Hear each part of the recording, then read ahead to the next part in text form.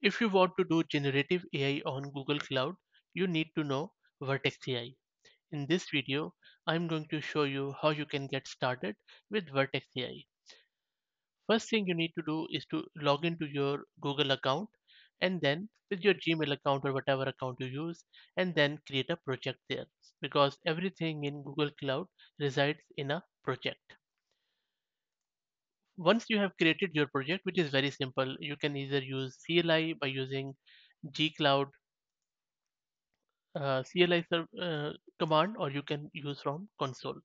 Once you have done it within your project, simply run this command gcloud services enable AI platform.googleapis.com. This will enable the Vertex AI API in your project. Remember that in Google Cloud, everything is an API, and if you want to use any service, first thing you need to do is to enable the API for that service. You can do the same from console. Second thing you need to do is to make sure that you ha have your service account created. Service account lets you access other services in Google Cloud. So I'm creating this SA Infra service account in my project. Third thing we need to do is to make sure that this service account can run this AI platform, which is another name for Vertex AI. And to do that, the command is gcloud projects add IAM policy binding. This is our project ID. So when you would create your project, you will get an ID. So this is my project ID. Replace it with yours, and then also mention your service account. So what this command is doing, this is binding this service account with this project, and you would need to replace your project ID here and your service account name at the rate your project ID here and then we are assigning it this role which is a platform.admin so that this role would allow this service account to do every admin process or privilege on this Vertex AI. So these are the three things you need. Fourth thing you need to make sure is that you, the project you are working in in Google Cloud is linked to your billing account. Okay, so that those are all the things you need to do in your project. Now, as a next step, what you need to do is to log into your Google account and then in your Google account, go to your service account, which is this. In your service account, and if you don't know how to access it, on the left hand side, go to IAM and admin and then select service account and then click on your service account and you'll be presented with this screen. Here you can see that this is a service account I already have SA Infra and my project ID is this. Select the keys tab, click on add key, create new key and then select JSON. Once you select it, click on create and then it will allow you to download this JSON file and you will only be able to see it only one time so make sure you download it. Once you download it, you can you are ready to use Vertex AI. Now for this demo, I'll be using Google Colab. You can use any Linux instance or even Windows instance or even AWS SageMaker notebook instance in order to use Vertex AI with the help of this service account SA Infra.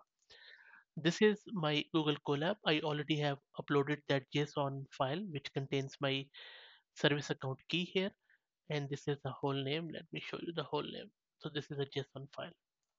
Okay. Now let me show you how you can use Vertex AI. The first thing we need to do is to import some of the libraries. And these are the libraries I'm going to use. And don't worry about the commands I will drop all the commands I'm using in my blog. And I will drop the link to that blog in video's description. Let me run it. So this is going to import some of the libraries. That's done. Now let me set my key path.